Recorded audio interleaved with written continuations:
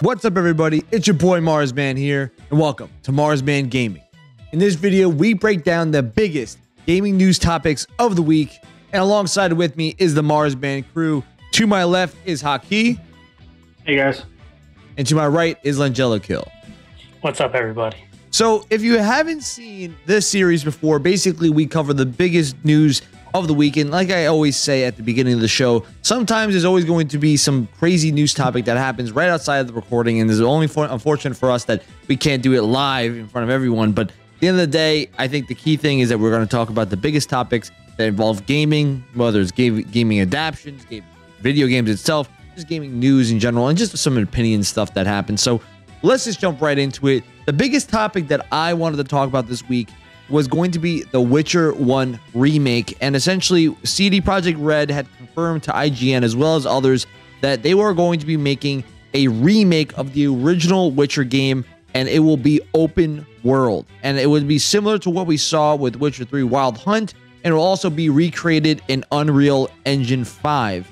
Now, the old style basically had it where you would be going level by level and you'd be limited to the specific area in which you are going to be in. Um, and this was made in the early 2000s. I believe 2007 was the official date. But obviously, you're going to be getting a completely redone game and essentially kind of start from scratch and make a, an open world title that now will be kind of comparable to Witcher 3 and, and a lot of its gameplay and mechanics. And I think it seems like this is the next game on the docket for them because I knew I know that they are starting the, the development of their Witcher 4, if that's what they're going to call it. Um, and I know they're adding more DLC content to see, to the Cyberpunk uh, 2077, but it's it seems like this is what's next up on the list because they already said they're already in development. And you know, when you look back at the original game, it was an 81 on Metacritic back in 2007. The big question I want to ask you guys is: Do you think this is a smart move to make the original Witcher an open world game? And Frank, I'm gonna go to you first. What do you think about this, man? Well, I, am mixed on it. I think again we're kind of reached where a lot of uh, we're getting a lot of remakes nowadays from a lot of game companies, and um, I do like that. It kind of sounds like it's going to be a new game. Um, so they're remaking Witcher One and creating this open world aspect, and if they create it, you know, similar dynamics as Witcher Three, I think it has great potential. Um, and I do think it's will allow people to enjoy Witcher One, which um, feels like again 15 year old game. So it's not too recent where it'll be too nostalgic. I think it'll be a new experience especially if they create an open world game.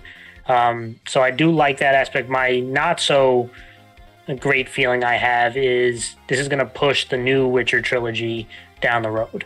Um, i don't think they have the kind of manpower to do cyberpunk dlcs witcher 1 and witcher 4 all at the same time. So um, unfortunately, I want to see the next Witcher chapter, and if they're going all in on recreating Witcher One into an open world aspect, I think it pushes Witcher Four down the road. So that's kind of you know there's good and there's bad, and you know that's why I'm a bit mixed on it. Yeah, so I mean, the, I mean that is kind of a, a, good question too. What does this mean for the future projects? Um, and Haki, what do you think about this, man? Yeah, so um, I, I haven't played The Witchers yet. I, I, I just got uh, I just got the PS4, right? So I got got a lot of gaming to do. Um, but you guys have, have, told me that uh, you know the, game and the series itself is a very good game.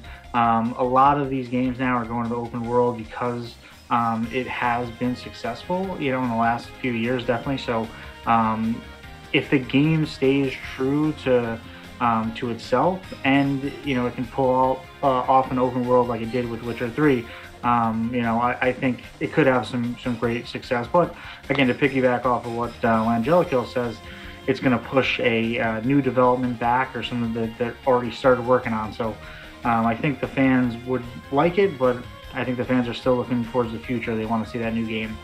Yeah, see, I, I think I'm in the same, a similar boat at least. I think this is a smart move to at least bring, if you're trying to bring a new game in the series in Witcher 4, I, it seems to me that they're trying to at least take their time and figure out what they want to do with this game before they they push it out. I think that's kind of the the smart thing. It's been obviously some years since Witcher series has been you know in, intact, and Witcher still has a lot of popularity to it.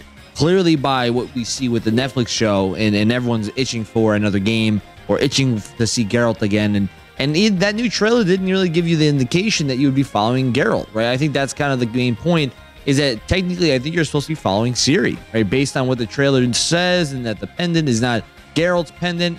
Like it may it may be a story with about Ciri, and maybe Geralt will be in it, but it's not. It may not be a Geralt story, and then they kind of made that kind of like a hint at it being not really a Geralt story. It could be a, a new, wholly new story that's without him, and and I feel like Geralt is a legendary character, and you kind of have to bring in one of those games that will kind of re reignite the fire, especially with the weird news about you know Henry Cavill not returning in which the the next season uh, after this current season that's being posted, a season after season four, I believe.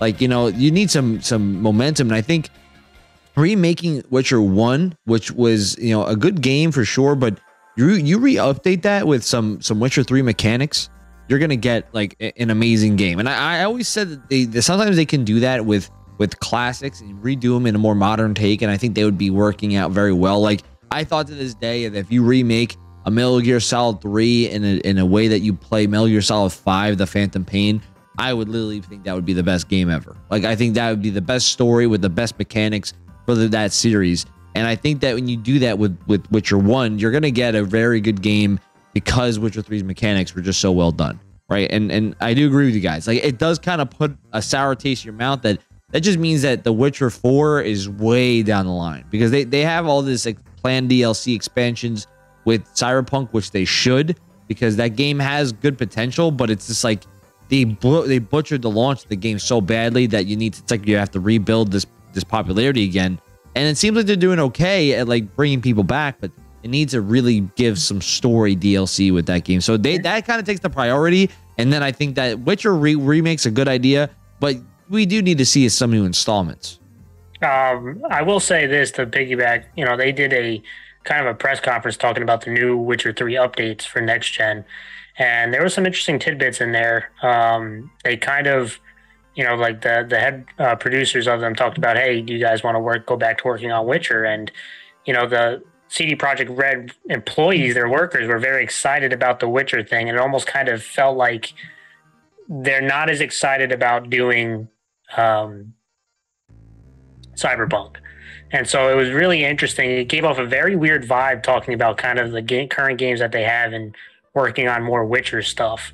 Um, so I don't know what that kind of deal is, but it, I, I, would recommend people to go watch it because it did have some uh, interesting little tidbits. And going back to The Witcher One, it has to create a vast world. You know, it, it can't just be some you know gameplay mechanics and you know updated graphics. I think that would kind of fall a little flat for Witcher One. I think it has to be a legit open world game for it to appease the fans. To be quite honest, I, I don't think it should be like some of these other game companies who are just remaking them and, and updating the graphics.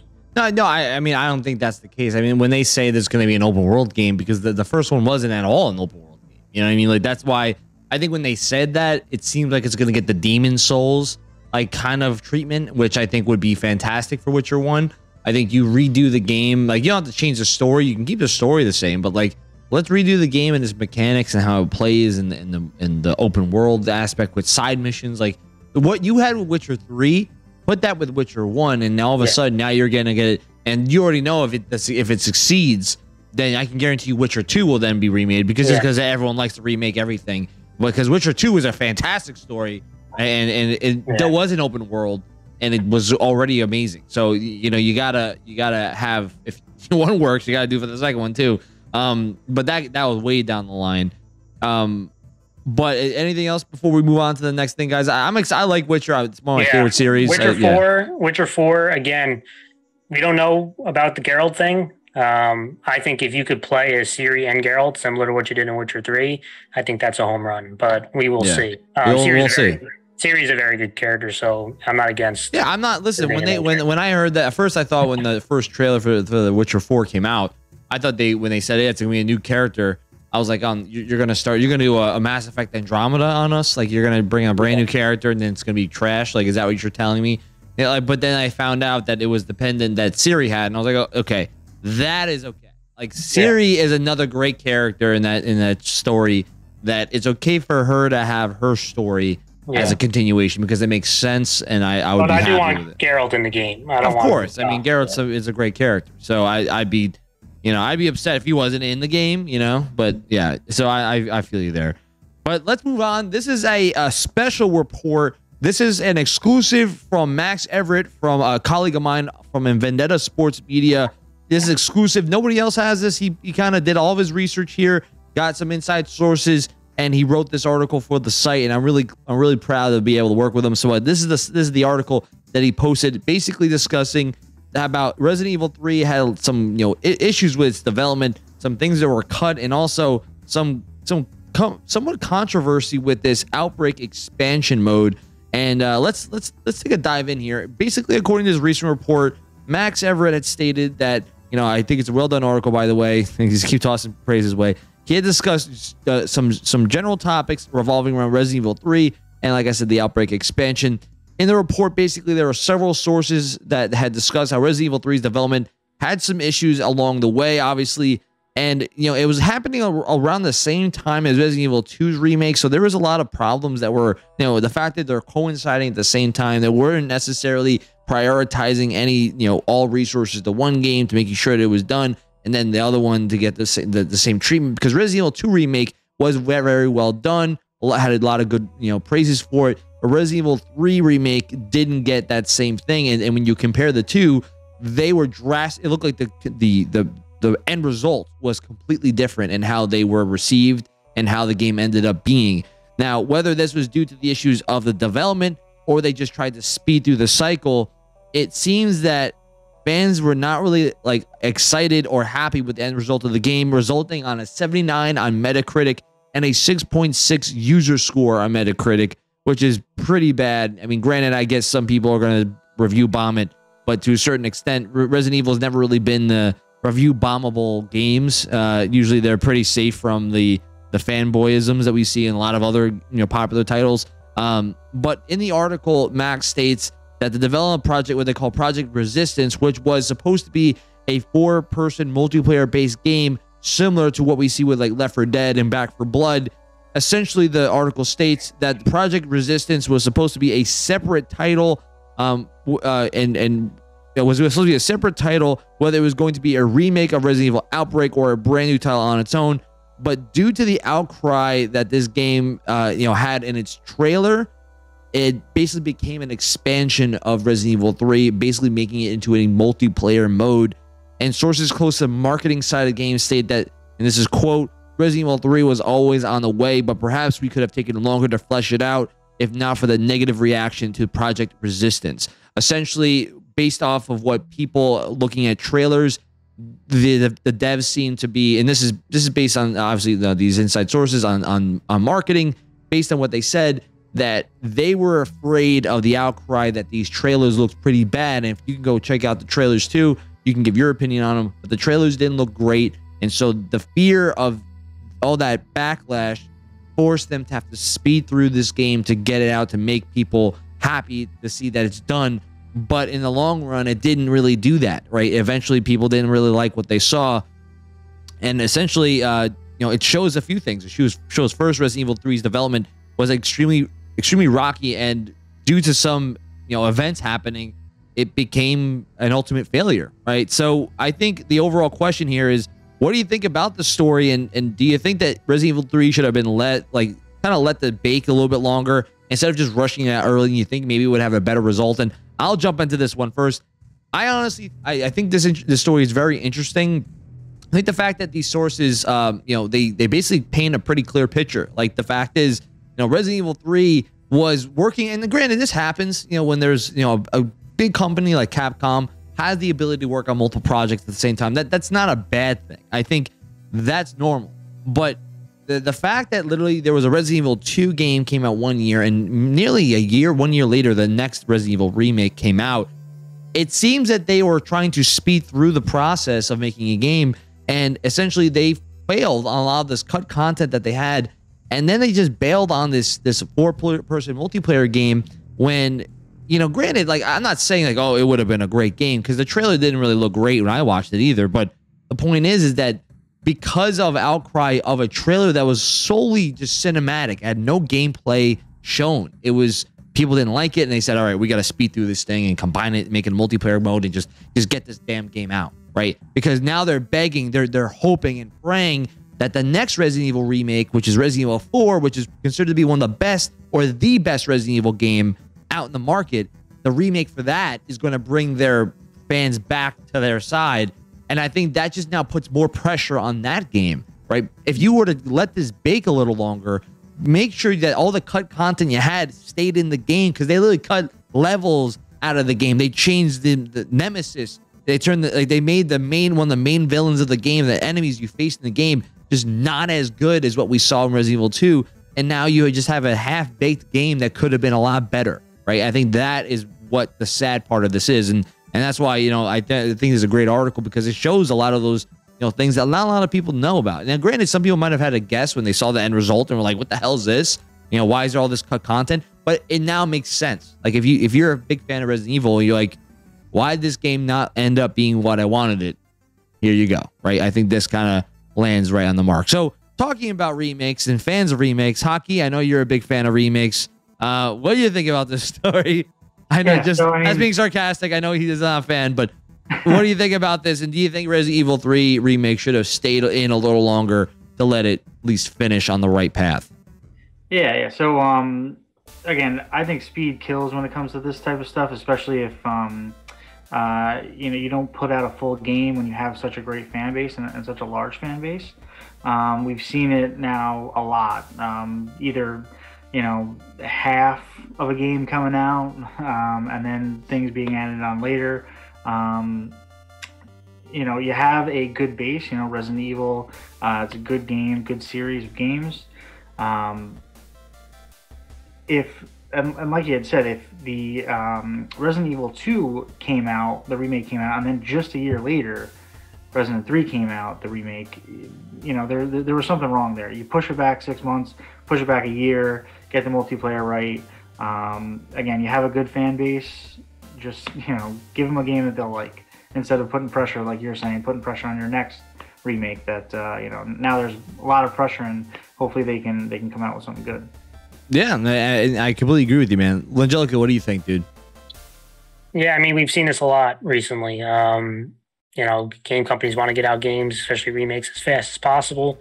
And uh, this was a very forgettable remake. Um, two came out really well. Three is very average. And so, you know, it, it's interesting when these articles come out and these information comes out. Usually you find out afterwards when the game is. And we, we saw this um, with Halo. We saw this, you know, with, with multiple other titles on what went wrong after the fact. Um, so another interesting uh, article here, kind of showing the development of three. But now, like you said, it brings a lot of pressure in four, which is one of the biggest games in Resident Evil series, and now all eyes are on how this remake is going to come out in, which is coming out next year, um, or supposed to come out next year. So we got one year, one year, one year from from two now to four, and now it makes you a little bit nervous on what side are we going to get a Resident Evil two type of remake or a Resident Evil three type of remake for four. Um, so there's definitely a lot of pressure here.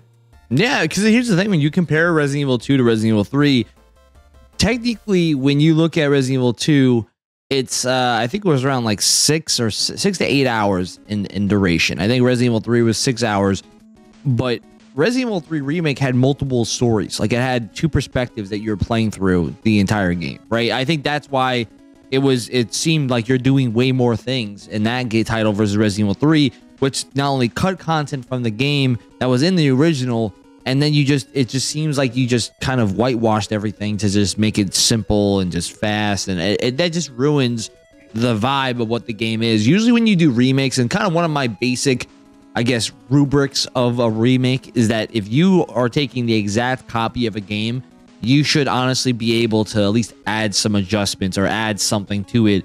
That it's not just an exact remake. You're like hey congratulations. We just copied and pasted it in an hd version and there you go. Like, you know, do something, whether you're changing the gameplay mechanics or you, at least you're adding like another level or some side missions, something like at least read like Final Fantasy VII remake. Like, yeah, you know, I'm a little upset that they divided it into three separate games, which is which is mind numbing to me. Right when it's when all of it was one title the first time, right? But you want to divide into three this time just because you want to give me want to make more money, whatever but at least they gave you side missions and they redid the combat and they did all this other stuff for Final Fantasy VII remake that makes it feel like there's a lot of things that are different. I'm not playing the exact same game back back in the day. You know, like eh, eh, I have my own gripes with remakes, but like at the same time, like I want to see stuff that's like added in. You know, like that's just that's just basically what it is. You know, like that, that's just how I feel about it. Um, and that's so they better they have to now land on Resident Evil uh, 4 remake. They have to land. If they don't, then it's, it's just a failure, right? People are going to be extremely upset yeah. if Resident Evil 4 remake is just bad. You know what I mean? So let's let's hope. Um, so let's jump to the next story, and uh, I like to call this the Law and Order fanboy unit. Um, basically, this is following the the Activision Blizzard deal, but not not going to talk specifically about the deal because we've mentioned it several times on the show, and I'd rather not even go into a speculatory, you know, discussion because we don't really have any sort of answers yet. Right now, it's it's discussing what's going on in, in the UK regulators, and they're they're giving out all these different, um, you know, arguments of why you know Sony is the greatest. Com- for Microsoft saying Sony's the greatest company I've ever seen, and we are horrible in every single game development we do. And Sony's saying, well, if if Microsoft gets this game, then we're gonna crumble in an instant. Like both are lying, both don't make any sense. But the one thing I do want to talk about is because of the kind of the fight that's going on here. There was a story about how the the deal about Activision or really Call of Duty staying on multiple consoles for, for a specific number of years because remember, Call of Duty right now has three years left remaining on its contract to stay like every single year in the remaining three years of a Call of Duty game dropping on Sony, as well as obviously on Xbox, you know, but the contract, this one specifically for Sony.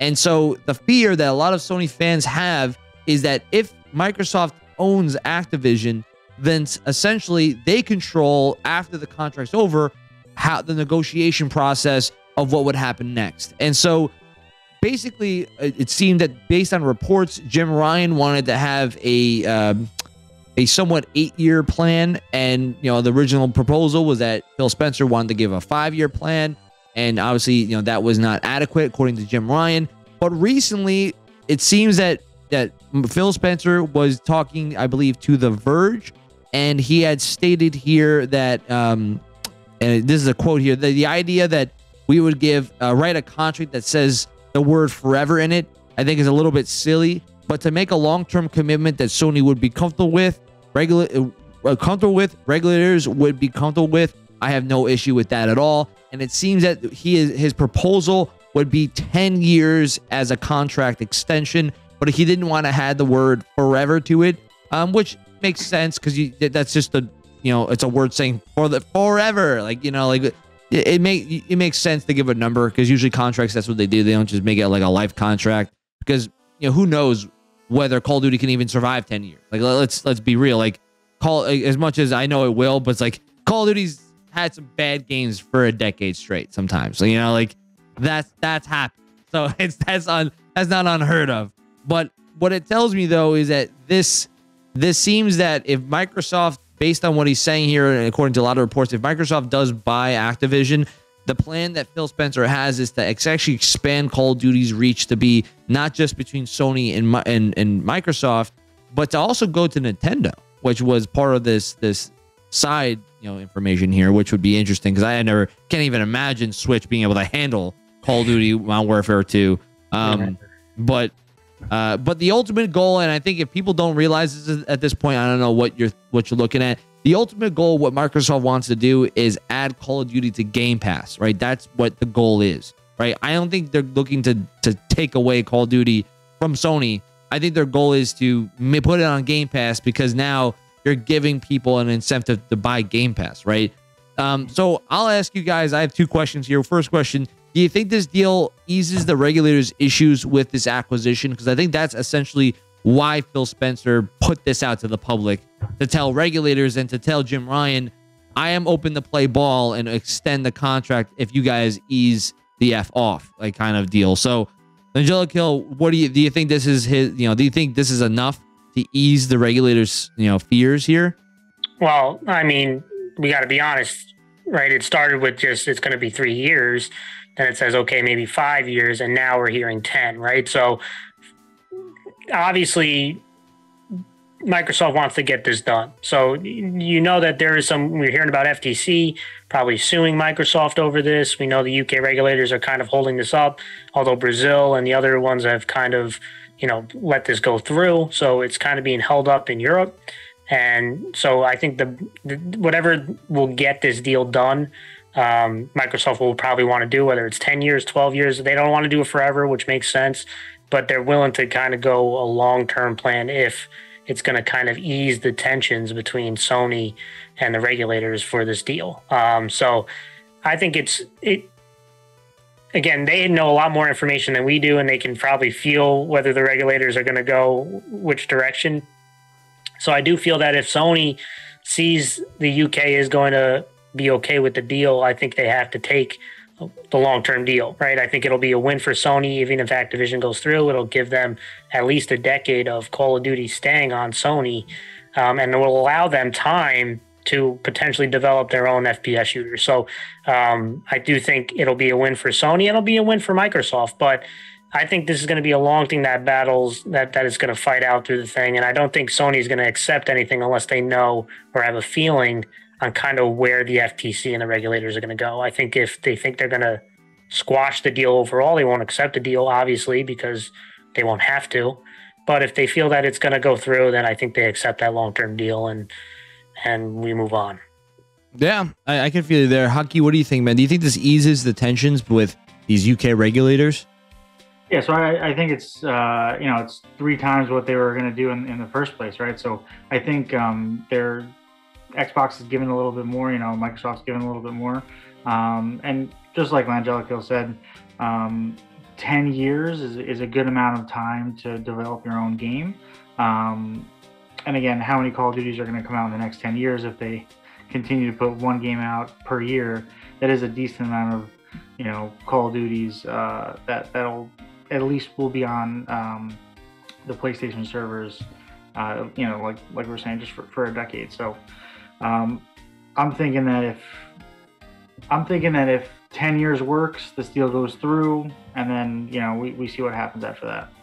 Yeah, I mean, like that's the thing. I, I was going to add that is that just because they say 10 years doesn't mean they can't renegotiate the contract and add yeah, more years to it. You know what I mean? Or, yeah, like they, they, they like, could they could always do that. And yeah. yeah. because to be honest, and I said this multiple times in, in several videos, Microsoft, I don't think is looking to risk losing this deal completely because if this deal doesn't go through, they actually have to pay a fine of like several million dollars to like to like let it go through because they have to. Like, it was like it's actually a weird thing. They have to pay a fine because they basically led they brought the uh, Activision shareholders along with them this entire time, and they you know they didn't get the deal go through. But I think that Microsoft wants to get this done so that they can add it to Game Pass. They're not looking to to make this exclusive. Now, granted, I think if they did, that would be pretty big, but I don't think they are. I think honestly they realize that if they make this exclusive completely, then the regulators are like you saw with the FTC. They're like, oh, they're they're ready to sue.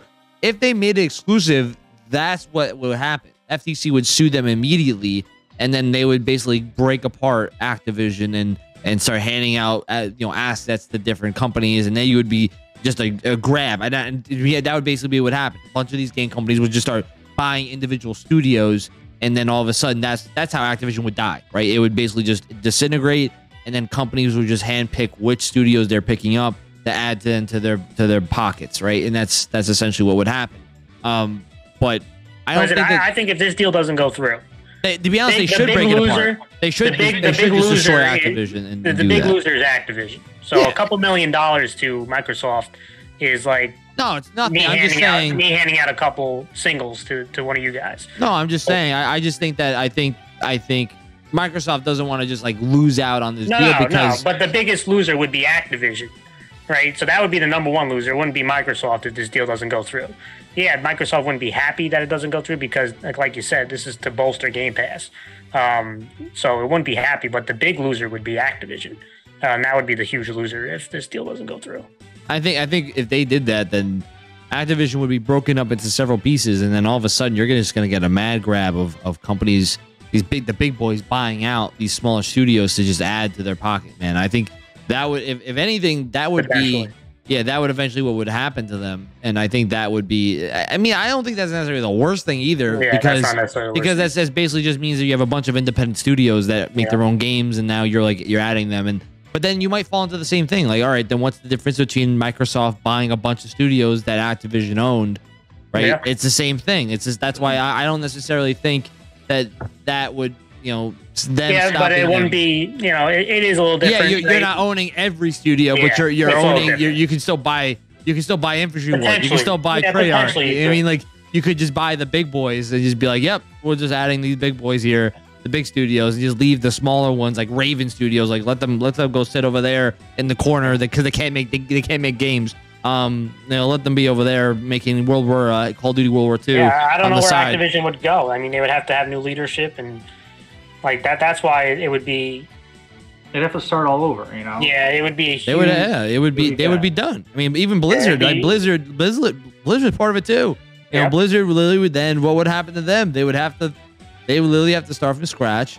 What would happen to their studios? I mean, that that's a big deal, right? It- it- Microsoft's hope is, and they talked about it, is by mid-year of next year. yeah, have this settled, and then like you know what they So their goal their goal long- is to play a as long ways to go. their their goal is to play as nice guy as possible They and uh, and basically give everyone whatever multiplat they need on Activision con and Activision Studios, Overwatch, everything possible, and to basically just you know like like let it go. They just want to have it on Game Pass so that they can keep adding more because we are we know what the plan is. Why what why is Game Pass the way it is? They said it in these documents that the reason why Game Pass is the way it is is because they want to use this ser- this service to make money back for the console losses that they have. Right? That because that's essentially every every game company loses money on consoles. Microsoft's plan to make the money back is to make Game Pass as as highly subscribed as possible to then make up the losses. So they want to put as many games they own on it so people buy it, right? And eventually they'll increase the price, which will then make them more money, more profit. That's what's going to happen over time. But to even get to that point, and to kind of the second question here, I think this is a quick one. Do you do you think Phil Spencer's telling the truth about keeping COD on all plats?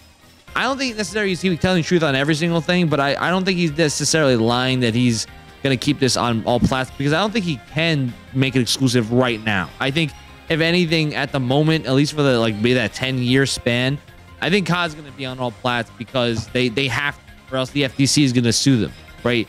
If he had the ability to, like in 10 years later on and the FTC cools off and he says, "Well, we're going to make future COD games exclusive to Microsoft." I could see that happening, especially uh, you know with the the recent reports of him saying we're gonna ex- we could extend it to ten years. Like that means he realizes that I can't make this exclusive right now, especially how hot this is. And after and if they make a contract, you guarantee you can't make it exclusive during the contract. But what Yeah. you can do is do what, what what Sony does, where you make exclusive content within the game solely to your console. Like that's what Sony's done with Call of Duty for years because their main player base is Call of Duty. So they're gonna get like special skins, special map, exp- like whatever this stuff. That's what Xbox is gonna do, right? And I and, and they're gonna do that with. They used to do that with the old Call of Duties. Call of Duty 2 was actually a big like Microsoft like used to do that all the time. Um, but they'll do that. I mean, that's that's what I think. Do you guys think that he is telling the, the truth about keeping COD on all plats? Uh, Angelica, I know you. I know your answer. I feel like. Well, no. I mean, you can't take everything that everyone says in public to be truthful. You know? Hmm. I, I don't trust Phil Spencer at all, but I, I also think he's not. He's not. I don't think, I think he's he- blatantly like. I- I, I don't, think, he it was his intention early on.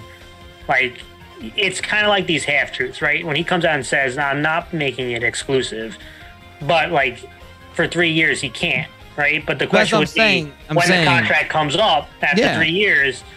He can't. He can necessarily say, "I didn't lie to you" and make it exclusive. Like I originally didn't, but now contract's up. I will. Right. So I don't blame Sony trying to strong arm No, no. and, I, I and get getting that. 10 completely. years right? So you want to get it on you want to get it you know on paper. And like you know spencer saying like hey i want this to get on nintendo too that all sounds all nice but we don't even think nintendo can can handle with their current Maybe- online system. Maybe this was their Um, hint of uh. Switch is finally making a uh, a pro a Switch Pro. Finally, maybe that's what it means. i don't know maybe phil knows he's got inside Maybe he's got insider. but- My, my only thing, I'll clarify what I was saying before. I'm not saying I trust Phil Spencer to like, hey, can you go date my daughter? Like, not like I don't trust Phil Spencer to that degree, but I also think he physically can't. Like that's the thing. Like it's like, Yeah. do, do I think I'm trusting him? Like, yeah, it's gonna, yeah, he's gonna do it because he's such a nice guy. No, Yeah. I yeah. physically know he can't make it exclusive the because contract, whatever. because the con- contract. Yeah. because the FT- FTC will sue him and they'll just sue him Again, I don't know the rules after the deal goes through that they can sue. 'em. But it's Like, it's about it's but, yeah, but that's my point though. You see how they're po- they're poisoning themselves to say, hey, we might sue because it seems like they're trying to make it where uh, if there's prior contracts signed that say we will not make it exclusive for X amount of time, that's when they'll be like, okay, we're good. Uh, we're not suing you because technically you're giving them plenty of time, like Sony, plenty of time to make a game, come up with a plan, like all that stuff. Because that that's the argument is that this happened like when the news dropped that Microsoft was buying Activision, it it did catch everybody off guard. Like there was no rumor. Well, yeah, I mean, there yeah, was, all that and, stuff. and, and there was never, no There's never a hint that a this was gonna purchase like happen. this in tech. Yeah, and ever and, and and essentially Sony was kind of like we only have three years left on the deal, and we have to now come up with a why, plan, and we have to try to like we need FPSs now, right? And and essentially, I think by giving ten years, you are giving plenty of time to now at least come up with a plan. And uh, my hope is that Sony realizes, hey, we have good IPs, we have good studios that can make games. So let's invest in making an FPS that has a story and good mechanics. Because your all your other games are great stories with great music and art styles.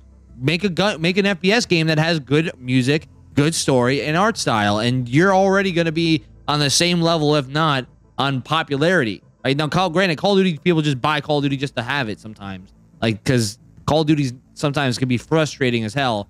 But but like you can make a if you make a story game that's great, that's a that's an FPS, you're getting into le- like great FPS games then, right? Like as much as Destiny had some up and downs, Destiny 2 is doing very well.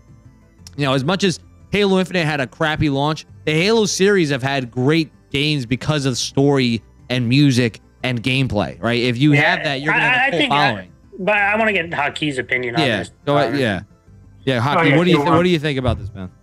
Yeah, so um, what I think is, like you guys are saying, probably a little bit of truth and, and a little bit of lie in there. But um, what I'm thinking is that whether it's going to be three years or ten years, it obviously does go on Game Pass, right? We know that's the the main focal point. But maybe it goes, or maybe there's multiplayer um, and the story mode available to you know PlayStation, and then either just Warzone for the Xbox users, you know, having that exclusive or having, you know, having Warzone as another thing that someone on PlayStation can purchase. I don't think they're gonna.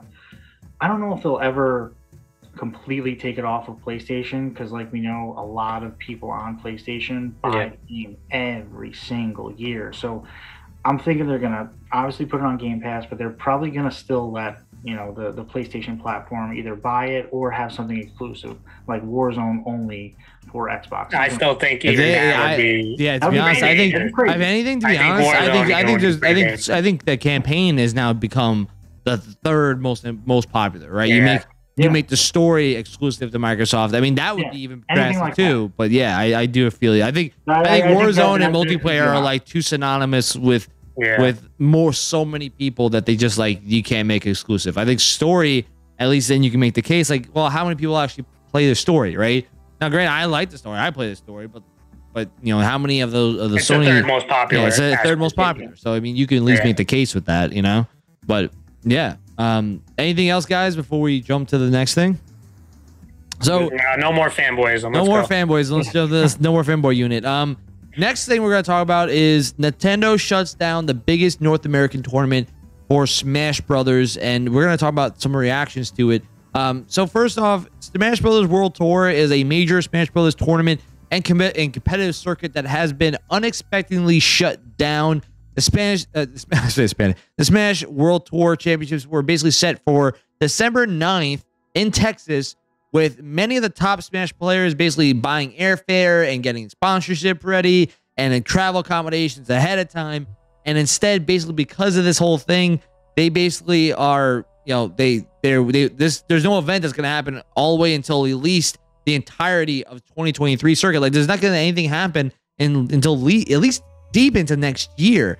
And essentially, the organizers of, of this tournament which were basically a group of just fans that were unaffiliated with Nintendo, say that Nintendo told them without any warning that they would no longer be able to operate the night before Thanksgiving. And essentially, the organizers said that they will be losing hundreds of thousands of dollars due to the shutdown.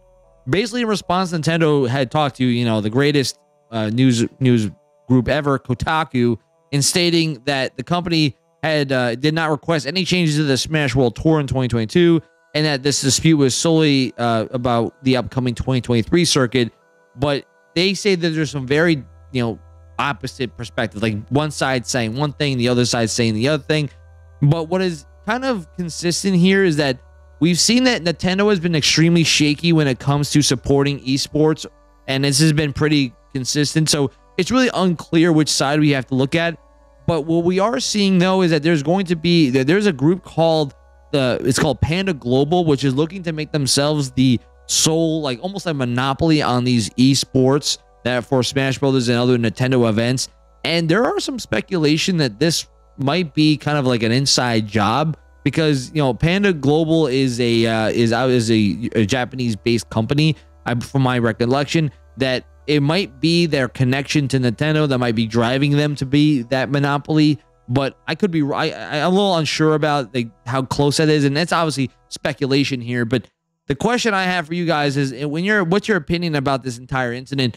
You know, who should be more at fault in your opinion? Should it be Nintendo? Should it be the you know Smash Bros World Tour? Should it be Panda Global? What do you guys think? Um, I'll I'll let Haki go first on this one. What do you think, Ben? Who's your who's the most at fault here?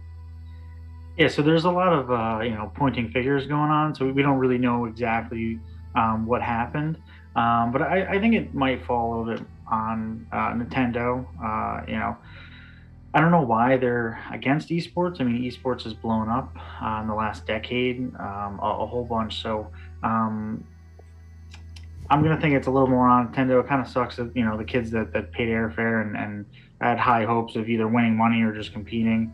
Um, yeah, they, they got to fix it because again, Smash is the uh, probably the best multiplayer game on Nintendo. You know, so or, or, one of them. So it's an important game to the fan base, um, and it probably could have a pretty cool um, esports, um, you know, following as well. So. Yeah, and what's crazy is that they have Smash Brothers have had a lot of great esports tournaments yeah. like in the past, right? And and you have like games like Splatoon that is also a great esports game. So you have multiple that are like that, and now this is a situation. But Angelica, who do you think is more at blame here? Yeah, it's Nintendo. Um, they're always heavy-handed on everything that they do, whether it's you know content creators, uh, reviews on their their games, um, events like this. You know, they're very brand protective and sometimes they can come off as very heavy-handed uh, when they make decisions. And this is kind of feels like another example of it. Um, whatever the issue is, which doesn't feel to be very clear, um, to just shut down the event um, at a at a whim is just excessive. You know, so I don't know what the exact reasons are. It feels like this would have to be a huge reason for them to just destroy the event instead of maybe potentially misunderstandings. Um, but again, we won't really know for sure until more info comes out. But based on the info we have now, I, I think this kind of falls pretty heavy on Nintendo.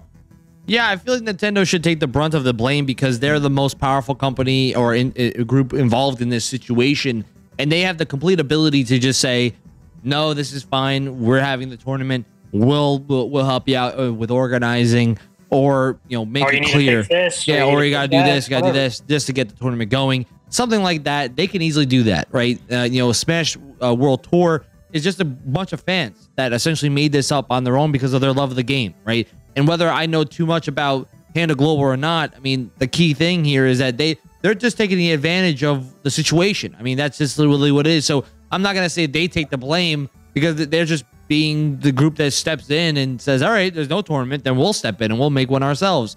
You know, granted, they if they have the support of Nintendo or not, who knows, right? That's that's kind of the key thing. But Nintendo is the one that is the revolving around this whole thing because people like you know you want to keep legendary games like Smash Brothers alive, the franchise is alive, right? Like That's the point. You want to keep them alive, so esports is the way to do it. People love Smash Brothers. You got to keep yeah. that stuff going, right? That's kind of maybe you're right about the Panda stuff, and they've done this with content creators. They give green light to certain content creators who, you know, they make sure is not going to be too harsh on their stuff and you know they do similar stuff could, for their events, right? They're not very open to a lot of people, whether it's creating content for their games or you know pretty much holding the banner for their brand. So that's the very concerning part. I hope that's not what what that what this is. I hope that panda thing is not what it is because then it kind of follow an ugly trend about Nintendo handpicking who can represent them. Yeah, that'd be unfortunate. I just think that Nintendo should be better than that. If that was true, that would be that'd be pretty messed up. Um, so anything before we move on, guys? I think I think we kind of covered everything. The last story of uh, of of the night of this of the video is the new Smash. Uh, I was about to say Smash Bros. New Super Mario Bros. movie trailer had dropped during a Nintendo Direct, which was officially yesterday. And uh, you know, when you look at recently, uh, Illumination Studios, who is the same people that work on uh, the Minions series and everything, so they're very good at animations. They, you know, based on all their all recent successes. But I think I've I've kind of grown tired of seeing another Minion commercial ever again. But you know, what, what they're they're killing it when it comes to, to they're like up next to Pixar when it comes to the level of how good animations look and, and movies and things like that. So Illumination Studios had uploaded a new trailer of the Super Mario, uh, Super Mario Bros. movie. Essentially, this showed a lot of updated visuals. It was only like two and a half minutes long at most. Um, and it showed some possible story components for the movie. We saw some introduced characters like Donkey Kong was right in the very first scene. We saw depictions of Yoshi's at Yoshi Island. We saw Peach, a lot of Peach in this one, a lot of Toads. Uh, we saw footage of Mario driving some Mario Karts along Rainbow Road. So, you know, basically, if you're a fan of Mario, you would probably love the trailer because you're getting a lot of those little, little nuggets of references to video games that you've played over the years. And I could literally pick apart every single scene. And I was like, all right, they're going with the Smash Brothers opening against Mario versus DK on like Final Destination style. Um, like it, it, and then they like go right into like those like just basic games. I'm just like, oh my god, they they're, they're going into everything here. Um, and what's interesting, I think I find the most interesting about this, it seems like this is like an origin movie of Mario because it shows like the discussion of like how he and Luigi became into the Mushroom Kingdom, where it shows them like clips of them being plumbers, like literally being plumbers, which is their basic story that was made a long time ago when they were first created. And it's like, you know, if uh, you know, before Mario became the legend, before Mario Luigi became the legend, you know, they were plumbers. And it seems like if Nintendo is checking off, should we consider this game to be, you know, to be lore? Should we consider this movie, to, this this this Illumination movie, to be Mario's backstory, official backstory? Because getting checked off by Nintendo, the having the okay, and I was like, wow, I never seen them use this plumber stuff in a movie before. So I mean, other than the crappy one that came out in the uh, in the 90s, but I, I don't even want to speak about that one anymore. But does this trailer give you excitement for, or, or really excitement or fear for the actual release of the film officially in April? Not that far away. And I'd be honest, I want to give my opinions first on this one. I'm a big, I'm a big Mario fan. Me growing up, I wanted to be Mario. And they asked me, "What do you want to be when you grow up?" I want to be Mario. That was my, that was my goal. So, watch, seeing some of this trailer, I was sitting here like, this looks fantastic. I was like sitting here like the, the, the look, right? Mario looks great. Like I was sometimes you're a little scared, like you know when they first showed the pictures of like Mario's got no got no donk, and you're like, dude, what what why like what's going on here? Like Mario's got no ass. Mario's got no ass. Like what's going on? Like I can't hide, man. Yeah, I, am like, what's going on? And yeah, and and so you know like some of those things got you concerned because you're like this doesn't look normal, but some of the trailer stuff like Lily looks great, right? I think the the voice actor for, I mean, Jack Black playing as Bowser does a great job. I think he he kind of lands it like on boy Bowser would sound like if he was speaking more normally. Um, Peach sounds just like Peach. Like I'm, I'm I think that's a good job for that. Um, DK, I know technically I think it's supposed to be I think it's supposed to be Seth Rogen. I think doing DK, which which is like I I'm like I had I didn't hear anything from it. So but I'm like DK looks good. I mean DK actually looks like DK. They kind of changed a little bit, but he actually mirrors the original DK look, so which is why people were like, "Oh, I'm actually okay with it." Um, but I, I'm still kind of a little like annoyed about Mario not sounding Italian at all. Like I think, I mean, like you're hearing like you're hearing that that Chris Pratt's trying to use some some lines, right? That Mario would say. No, he tried. No, but like he, you can tell he does like the lines, like uh, end, the the no, at the beginning. of the line. No, the beginning he did. The beginning he did too. He said, "Oh, let's said, go." He's like, go." let's, no, he's like, "Let's Yeah. go." Like trying to like calm himself down. Like, "Let's go." I'm like, I'm sitting there like, dude, like you, you keep me Italian accent at least. Like, give me something. Yeah. Like because like, dude, you, you the look it looks great. Yeah. Even Charlie Day as Luigi, I'm like, dude, that he that is, makes sense. Like I can lay, I could see him as Luigi the way he talks, the way he's like scared, like that makes sense. Like Chris Pratt is a great actor. You can make your voice sound a little different, dude. No one's gonna be mad at you for making a somewhat Italian accent. That's what the character is. And that's what I'm afraid of because I'm like, so far, I've watched two trailers of the Super Mario Bros. movie. Both of them looked good with what they showed me. But the one thing that was consistent was the fear of what Chris Pratt's voice is going to do to the overall feel of what the movie is. It's like it gives you that feeling that this movie could be great. It could be great, but because of the little things like that, it might sour it enough that it's just to make the movie okay, right? And it, that is what makes me upset because I think this looks like a good concept. Like they're making an origin story movie about Super Mario, and you're bringing in all the worlds combined, have to fight Bowser. That's what the story's gonna be. It's gonna be they gotta go all these different worlds, recruit the champions of all the of all the worlds to come help them fight against Bowser and the kingdom. They're gonna get DK and his con crew. You're gonna get Peach and all the Toads. You're gonna have to go to Yoshi's Island to go get Yoshi's to come help you out. Go to the Penguin place. You're gonna all these places to go fight Bowser in the end. And and I have a, just a bold take. I got I'm feeling Mario beats Donkey Kong in that fight, and it's gonna shock everybody because that's like Toad's like fucking out like yeah we just beat him. Like Mario, I feel like Mario beats him, and everyone's like oh my god, you like this guy. Uh, in the trailer, he was getting slapped around. He was no, he was. yeah. I think in like the the bold take is that Yeah. they showed you him getting slapped around, but Yeah, he's gonna like make a comeback and win, and everyone's gonna be like, yo, like this kid, this guy just beat our champion Donkey Kong, and then everyone's gonna be like, yo, we gotta follow this guy, and then that's how they're gonna build more people around him, which would be a great story. Which, uh, but like the bottom line is, Mario doesn't sound like Mario at all, right? That's that's the fear that I have, and I I I am excited for what it looks like. I think it will probably be the best Mario Bros movie we've ever had because they've all been horrible, right? But you know what what standard are we holding then? Right? That that's the point. Like I want it to be the best. And it looks like it could be very good, but there's some fear there about this voice acting choice could do to the overall outlook of this movie, right?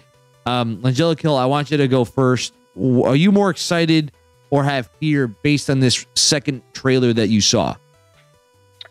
I'm mixed on it, and I gotta say the visuals. Like I agree with you, the visuals actually look really good. Um, I think they did really good what we've seen so far with the animations. I love that they are bringing in multiple characters. Although I was a little disappointed not to get anything out of Wario or Waluigi. Um, we did not see any of that. But I love having multiple characters like the Kongs you just mentioned, Yoshi's, Toads, and and hopefully we'll see some more. I know we saw some Boos at some point um, in the first trailer, not so much this one, but you know, I, I like that. I think actually Jack Black, Bowser, in the two trailers that I've seen so far, he's the one that I think has done a really. I, I've been more impressed with Bowser than any other character that I've seen. Um, Day with as Luigi like doesn't bother me as much as what Mario is. Mario in the two trailers that I have seen is just Chris Pratt. Like it doesn't even feel like Chris Pratt is trying to be even somewhat Italian. It just is like Chris Pratt talking. And that doesn't mean it'll destroy the movie because you know what? It kind of reminds me with the different styles, right? Art styles, but the Lego movie. And, you know, that ended up being a pretty underrated movie to me. Um, I wouldn't call it great, but it was an underrated movie. And I feel like that kind of is the, the ceiling of this Mario movie that it could hit.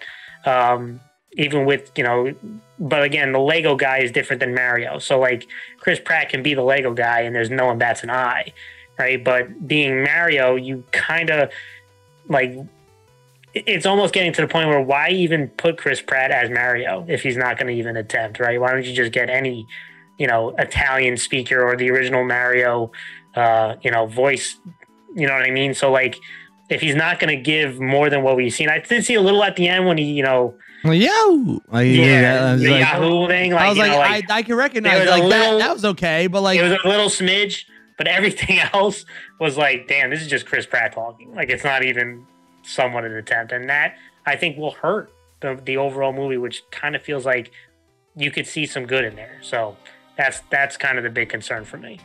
Yeah. Well, Haki. What do you think, man? Yeah, I'm just piggybacking off of what you guys said. I mean, I think we're all in uh, in agreement here. It, it looks fantastic. Um, you know, seeing all the characters uh, as well as uh, really cool. Hopefully, we do see um, a few more. Um, like when Angelica said, Bowser, uh, one of the coolest characters, and I did like that we saw DK and, and Mario kind of uh, get into a scuffle there. Uh, but yeah, the the biggest sore thumb could be Chris Pratt uh, as Mario, like Angelica Kill, and, and Marzzman said at the end there, that little Yahoo got you know sounded a little. You saw bit, a little light on it, bit, like you know, just a tiny bit. But yeah. it's got to be all that. And if it's an origin story, and they're gonna make another one, if this does good, and another one after that, you better learn how to do an Italian accent just a little. Just imagine, just imagine how crazy this would be. Like all of a sudden, like let's just say he does the he does the Paramount Plus, where the entire movie he doesn't sound like an Italian at all, and then by the end of the movie he like gets hit in the head or something like, oh, oh no, like you're like, oh my god, I'd, I'd be like, yo, come on, what are you doing? That'd be so stupid if you did that. So I would literally be so angry, like. You're you're just screwing me right now. You I just I mean? want like, like, effort. Like I just felt like just, I, just make it trailers, a slight, I saw like a slight practically zero effort. Give me a tint of Italian in there, not even like yeah. asking to be full on like like straight up Italian off the boat walking into yeah, like New York City style. Like I'm not of, yeah. I'm not asking to be that that Italian, but I'm asking to like, give me a tint. Like because everything else, you know, looked great. I thought like even like when you saw like Mario's about to go fight DK, like you were like, all right, like he gave like the serious look, like I'm gonna I'm gonna go fight. Like he wasn't like because that was my only fear with some of the things I saw was but that Mario Mario looked like, like he was like Oh yeah, like the Lego does. guy is like a nobody. They're kind of making Mario to be like this underdog. Yeah, he's he's like a like he's a guy who knows around. nothing. Who gets yeah. he gets beat up a lot. Like, he gets yeah. beat up a lot. He gets smacked yeah. around a lot, and he's just getting and he is he has to become right. And that's the thing. Like that's whatever. That's fine because it's a story. Like Mario's he's a plumber. Like it, the whole story. And and I said this to you guys off stream. I'm happy that this trailer told me that I was wrong, right? I, I was right on what the concept was where they got sucked into Mushroom Kingdom. Like, I was right on that part. But thank God they proved me wrong about the whole possible real, real person. And then they get transferred into the Mushroom Kingdom and then, then they become cartoons. That's where I got fearful because I was like, dude, it seemed like that was what it was to be for a minute there.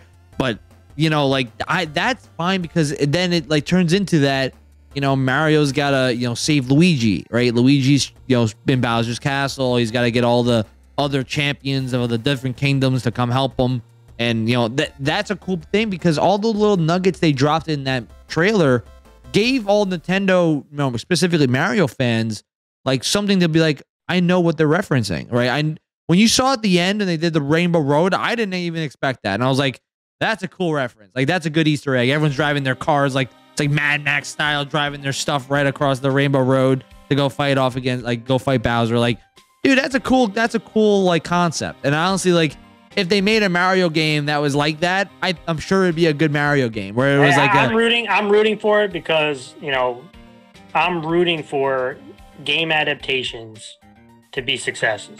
Yep. And that if they stick close to kind of what the lore is, that it works. Like Sonic right? Because then it'll, yeah, then it'll again prove to Hollywood people, show people that, that you can do it. Get closer to the lore. You can do it. People will like it. So I'm, I'm really rooting for it. Similar to Last of Us that's coming out in January.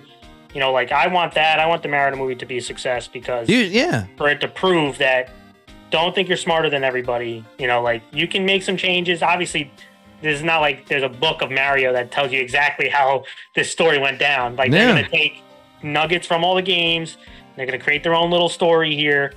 But like if it works, it shows you, hey, you know, you can maneuver this and it could be a success. I agree. And and I I really want this to be successful so I don't have to write another add-on to the, the horrible gaming movie list that I've already compiled from a while back. So yeah. Yeah, so listen, uh, that's going to be it for us, guys. I do appreciate everyone that came out to watch. If you haven't done so yet, hit that thumbs up and subscribe for more future content. And please join us on Twitch. We do our live streams daily, and we are really stream almost every type of genre of game from all platforms. So, go definitely go check us out there. We reached affiliate recently, so would appreciate that subscribe and follow on there. Join us on social media on, on Twitter and on Discord, and that is located in the description below. And if you want to support the channel, you can join us on Patreon. That is also located on the description below. But until next time, this is Marzzman from Marzzman Gaming signing off. Peace out, guys. Bye.